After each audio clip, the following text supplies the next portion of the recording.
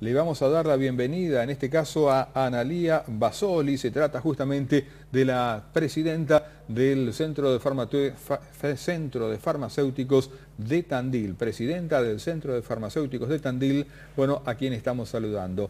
Eh, ante todo, muy buenos días. Feliz día Panamericano de los Farmacéuticos. ¿Cómo le va? Buenos días. Em, te escucho muy bajito, ¿sí? Bueno, como no. Quería decir que el colegio es Colegio de Farmacéuticos, filial Tandil, ¿sí? Exactamente, sí señora, exacto, para, para destacarlo y aclararlo muy bien. Eh, hoy es el Día Panamericano del Farmacéutico, una fecha muy especial, ¿no? Sí, hoy se celebra en todo el continente americano el, el Congreso, mm, el Día Panamericano de Farmacia, ¿sí? Porque en el año, para hacer un poquito de historia, te cuento, em, en el año 1948 los profesionales de, la salud farmacéutica se reunieron en Cuba, ¿sí? Y a partir de entonces determinaron la importancia que es eh, fomentar o, poner bases de farmacia como parte del sistema de salud en todos los países americanos. Entonces, a partir de ese año, las tres Américas se reúnen eh, anualmente para delinear fundamentos de la profesión eh, hoy por hoy la, OMS, la Organización Mundial de la Salud, dice que no hay medicina eficiente sin la gestión eficaz de los medicamentos.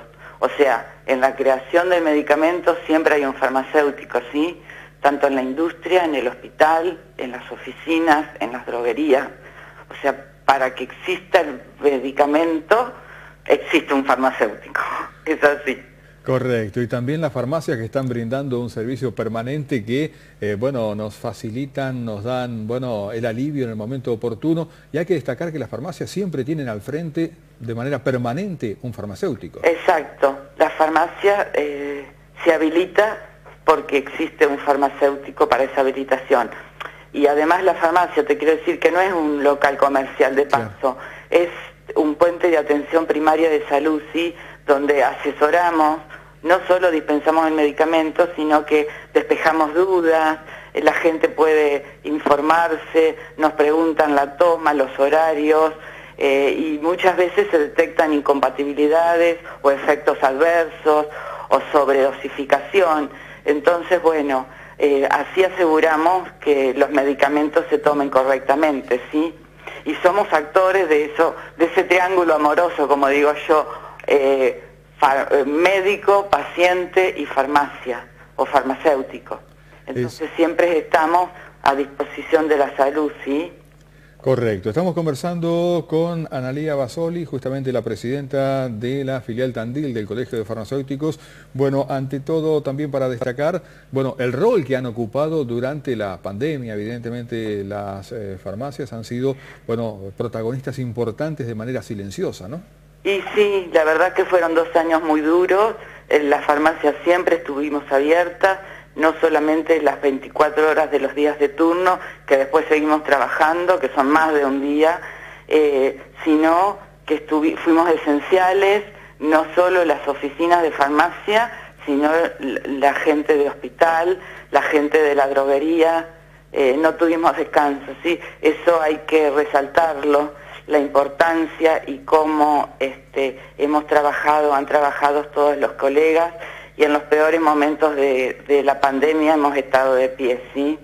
Además, bueno, la, empatía con la que atendemos a la gente en los mostradores, el esfuerzo que hacemos con las obras sociales, eh, porque, mm, bueno, es todo, es todo un combo, ¿no?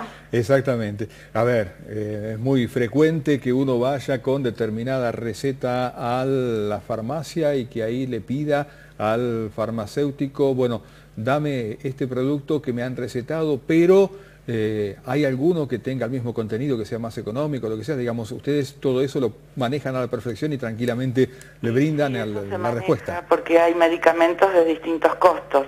Antes que nada te quiero aclarar que en la farmacia no somos formadores de precios. El medicamento sale del laboratorio ya con un precio establecido por el mismo laboratorio y es uniforme y es igualitario en todo el país, ¿sí?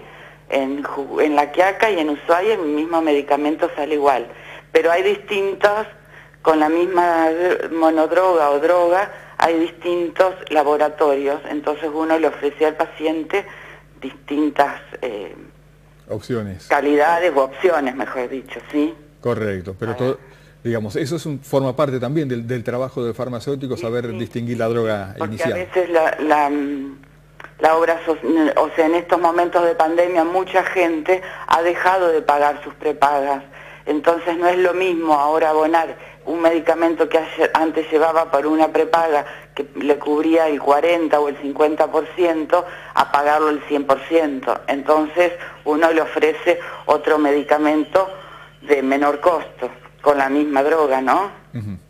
Bien, estamos hablando con la titular de la Delegación Tandil del Colegio de Farmacéuticos. Bueno, básicamente aquí en la ciudad de Tandil, ¿cuántos farmacéuticos hay eh, colegiados? Y hay alrededor de 90 farmacéuticos, 95 farmacéuticos, ¿sí? Eh, porque hay farmacéuticos en droguerías, hay farmacéuticos en el hospital y en las oficinas de farmacia, que muchas farmacias tienen más de un farmacéutico, ¿sí?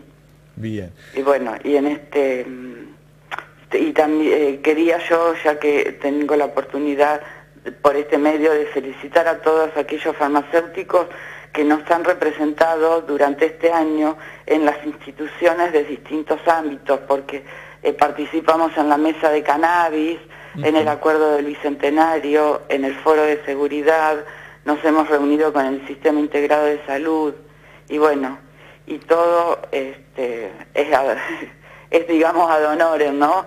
Es una participación voluntaria y desinteresada, pero bueno, este, cedemos nuestro tiempo en beneficio del resto de los colegas farmacéuticos y de la sociedad todo de Tandil. Exactamente, esa pasión por estar junto a la comunidad, esa responsabilidad social que, también ejercen los farmacéuticos, ¿no? Exactamente. Bien. Eh, gracias por este contacto con la radio, con el canal del ECO. No sé si hay algún mensaje en particular que le quiera dejar a los colegas. Y desearles feliz días a todos mis colegas. Gracias por el trabajo y la dedicación, el profesionalismo, como te decía antes, al servicio de la salud de Tandil.